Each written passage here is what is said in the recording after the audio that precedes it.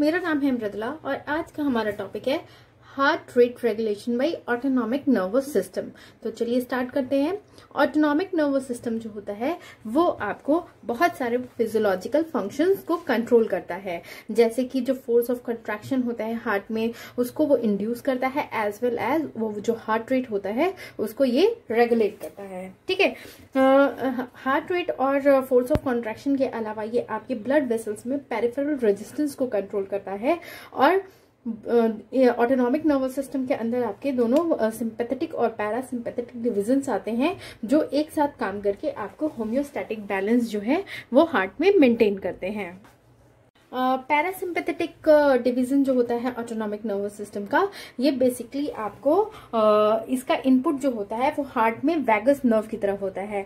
जैसे ये हमारा ब्रेन है यहाँ जो वैगस नर्व होता है वो आपका हार्ट से कनेक्टेड होता है और ये पैरासिम्पेथेटिक जो भी स्टिमुलेशन होता है हार्ट में वो वो इस नर्व्स के थ्रू प्रोड्यूस होती है हार्ट में। ठीक है? वैगस नर्व जो है वो सिनेप्स फॉर्म करता है आपके पोस्ट गैंग्लियोनिक सेल्स जो कि आपके साइनो आर्ट्रियल नॉड और आर्ट्रियो वेंट्रिकुलर नॉड में प्रेजेंट होते हैं। पैरासिम्पेथेटिक जब स्टिमुलेट होते हैं तो एस्टल कॉलिन जो होता है वो आपको एम टू रिसेप्टर्स से बाइंड करता है जो कि आपको जो पेस मेकर पोटेंशियल होता है उसके स्लोप को डिक्रीज कर देता है। ये आ, इसकी वजह से आपका जो हार्ट रेट होता है वो डिक्रीज हो जाता है। ये आपका नेगेटिव क्रोनोट्रॉपिक इफ़ेक्ट होता है। ये था पैरासिम्पेथेटिक का connection with from brain to heart अब हम देखेंगे सिंपेथेटिक तो सिंपेथेटिक इनपुट होती है हार्ट में वो आपको पोस्ट गैंग्लियोनिक फाइबर नेर्वस जो कि आपके सिंपेथेटिक ट्रंक से ओरिजिनेट होते हैं, उससे आपको साइनो आर्ट्रियल नॉड और और आर्ट्रियो वेंट्रिकुलर नॉड से वहाँ पे सिनप्स फॉर्म करते हैं। जो पोस्ट गैंग्लियोनिक फाइबर्स होते हैं, वो आपको नॉर एड्रेनलिन रिलीज़ करते हैं, जो कि आपको बी वन एड्रेनो रिसेप्टर पे एक्ट करता है, जिसकी वजह से जो पेस मेकर पोटेंशियल होता है, उसका स्लोप इंक्रीज हो जाता है। ये जब पेस मेकर पोटेंशियल इंक्रीज करता है तो आपका हार्ट रेट भी इंक्रीज करता है।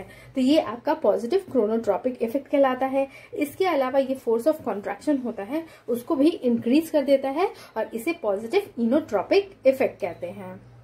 पैरासिम्पेथेटिक इनपुट जो होता है साइनो एट्रियल नॉड में, वो आपको डोमिनेट करता है रेस्ट पे, जिसकी वजह से जो नॉर्मल रेस्टिंग हार्ट रेट होती है, वो अराउंड 60 बीपीएम होती है। अब हम देखेंगे बैरो रिसेप्टर रिफ्लेक्स जो कि होम्योस्टेटिस मेंटेन करने के लिए रिस्पॉन्सिबल होते हैं।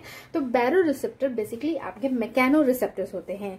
ये आपके हार्ट में कैरोटिड साइनस और आरोटिक आग के पे प्रेजेंट होते हैं। ये बहुत ही सेंसिटिव होते हैं। इनफैक्ट आपके स्मॉल आर्ट्रियल वॉल में जो स्ट्रेचिंग होती है या टेंशन क्रिएट होता है, और ये आपको डिटेक्ट कर लेते हैं इजिली अगर किसी तरह का कोई चेंज आर्ट्रियल प्रेशर में हुआ होता है। और ये जो चेंजेस होते हैं, उनको फिर वो कॉमनेट करता है मेडुला ऑब्लिंगाटा जो कि आपके ब्रेन स्टेम में प्रेजेंट होता है।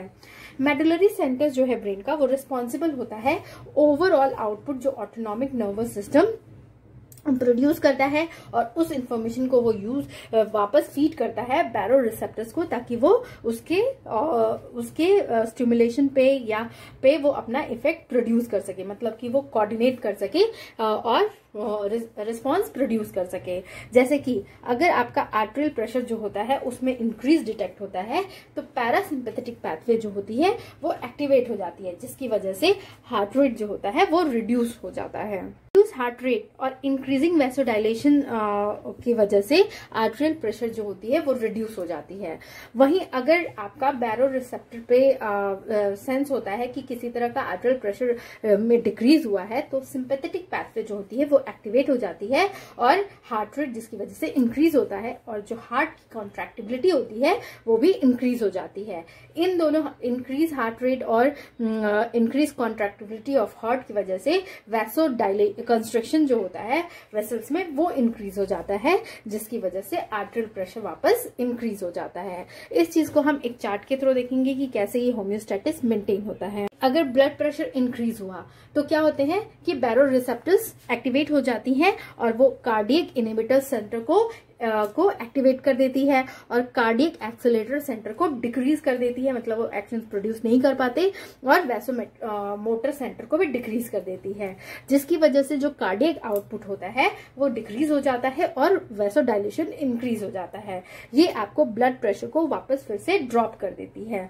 वहीं अगर ब्लड प्रेशर डिक्रीज होता है है तो बैरो रिसेप्टर फायरिंग भी डिक्रीज हो जाती है, जिसकी वजह से कार्डिक इनिबिटर सेंटर्स इनिबिट होते हैं और कार्डिक एक्सिलेटर सेंटर्स और वैसोमोटर सेंटर्स जो होते हैं, वो एक्टिवेट हो जाते हैं, जिसकी वजह से कार्डिक आउटपुट जो है, वो इंक्रीज हो जाती है और साथ ही उसके वैसो कंस्ट्रक्शन भी इंक्रीज होता है। ये दोनों मिलके आपको ब्लड प्रेशर को इंक्रीज कर देती हैं। तो इस तरह से वापस अगर आपका ब्लड प्रेशर डिक्रीज हुआ है, तब भी होम्योस्टेटिस रिस्टोर्ड हो जाता है। और अगर ब्लड प्रेशर इंक्रीज हुआ है, तब भी आपका होम्योस्टेटिस जो होता है, वो रिस्टोर हो जाता है with the baro receptor reflex action तो ये था अबाउट आपका heart rate regulation by the autonomic nervous system अगर आपको मेरा ये वीडियो पसंद आए तो प्लीज़ इसे लाइक शेयर और कमेंट करें। Thank you for watching